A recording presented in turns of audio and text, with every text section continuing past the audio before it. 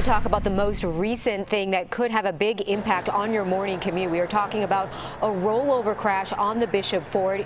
This is uh, the what's left of the vehicle involved. You can see just rolled over right now. Investigators still out here. This crash happened just before 3 o'clock this morning. Again, on the Bishop Ford, right near 130th.